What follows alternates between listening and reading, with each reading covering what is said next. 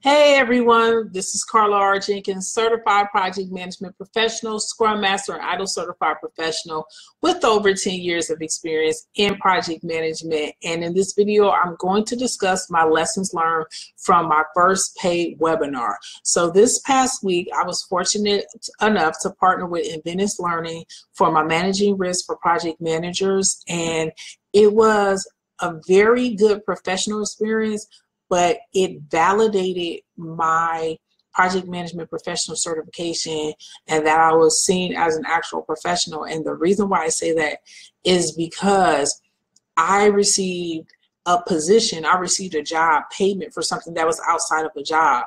So I received an online webinar that I got paid for to do risk management and teach it to people. And I'm very happy and very grateful about it.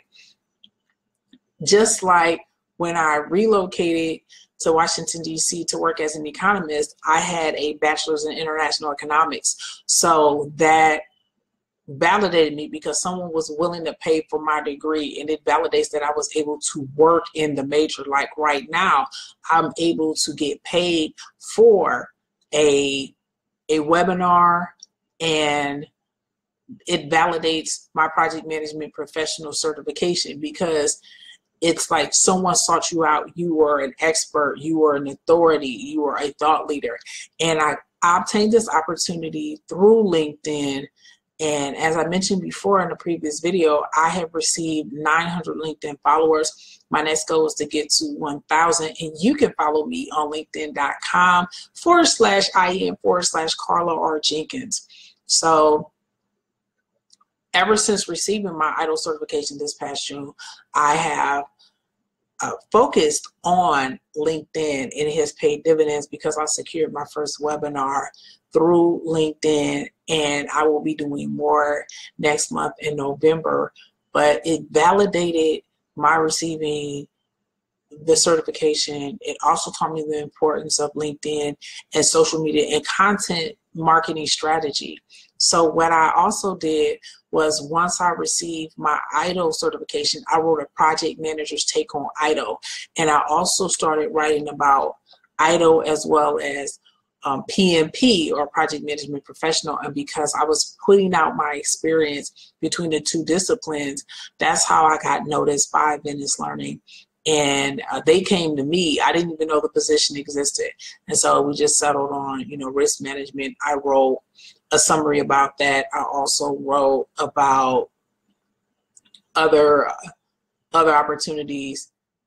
And uh, a third thing I would say in between the importance of LinkedIn and validating my certification is to know what's in the marketplace. So for me, because the project management body of knowledge sixth edition was out there. I thought that that would be the focus but what i learned was that was too narrow. So they were trying to be more generalist and specific and and by going from you know risk management processes to managing risk for project manager and making it way more generic it covers more ground and it got more people. So i learned that from a business lesson a promotional lesson that making things basic isn't watering down the content and it's not like you're selling out anyway.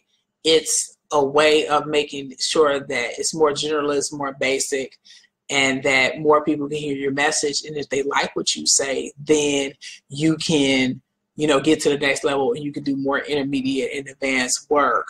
So, you know, that's the third thing that I learned from lessons learned is how to position yourself in the market, how to sell what you're doing.